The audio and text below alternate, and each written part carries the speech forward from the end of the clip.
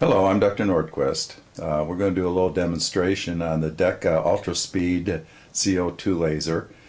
Uh, the wavelength is 10,600 and the mode of operation is that that wavelength works in water and it actually vaporizes tissue. So what we've done is uh, use different settings and we came up with a setting of 4 watts continuous. And what that seems to do is do a very nice vaporization and removable gingival sulcus. And you'll see that in our surgical demonstration. Then we take some of the material that came out of the curettage and put it on a slide and take a look at under the microscope. Once we've got done with treatment, then we come back in one week and then do another curettage out of the sul uh, sulcus and see what results we have uh, microscopically after one week. So let's get started. Our sample, and this patient had many different types of spirochetes. Here's a fairly broad looking spirochete, very wide and long, but she also had fine spirochetes as well.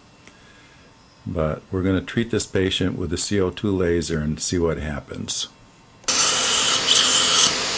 Okay, what we're doing is we're taking the CO2 laser and we're doing a gingival curettage. We just gently sweep it around the tooth and it just basically takes out the lining of the gingival sulcus and where there's granulation tissue it just kind of bubbles and you can see the granulation tissue coming up on the, the uh, tip. Now once we've gone around with the perial tip, I just go in and I just remove the sulcus with a curette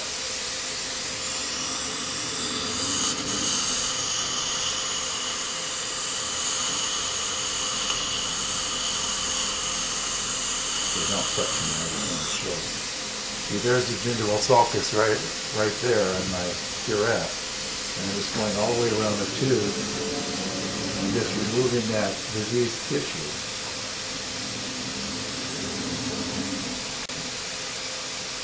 See, there's the gingival sulcus. And what we did is we put some of that on a glass slide and we're going to put that under the microscope and see if we are able to kill all of the, the bacteria in the mouth, including the spores. So I'm going to stick that in the microscope soon and then we'll see what that looks like. Okay, this is a slide we just took of the tissue we took out with the gingival curettage. And there's literally no evidence whatsoever any viable bacteria in this uh, sample. And just basically hardly anything recognizable, although there's a little bit of blood there, but that blood came out after the surgery. They're just uh, kind of nondescript tissue with a few red blood cells here and there.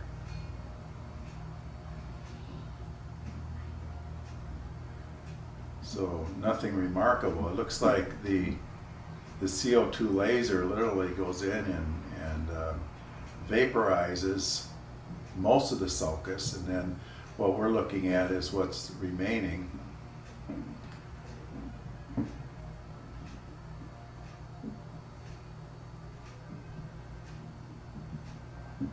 I don't know, that looks like a spore, but it doesn't have the same shape. It looks like that's been disturbed in some way if that um, is a cyst or a spore, it doesn't look normal. So it definitely is affected.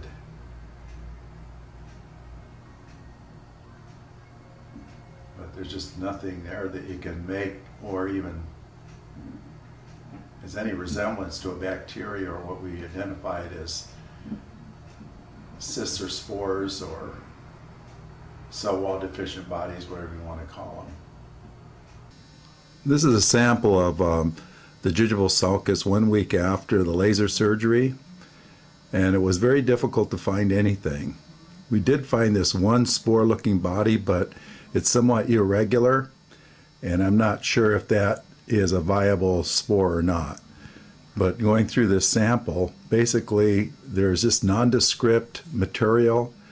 Uh, that's an epithelial cell, um, but nothing remarkable.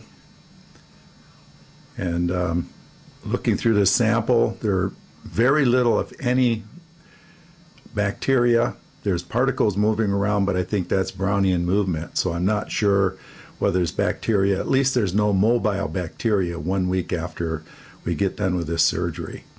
So this is very typical of what that whole sample looked like when we went in and curettage the uh, sulcus one week later and remove whatever we could and put it under slide, and this is what it looks like. one week later, uh, we just showed the uh, microscopic of these sulcus um, just previous to this, but um, it's amazing how good the tissue looks one week prior. If we did full periodontal surgery on this patient, she would be in pain for two weeks. However, when we do a laser treatment, even though we remove the gingival sulcus, his patient was comfortable the next day and the tissue looks this good one week later.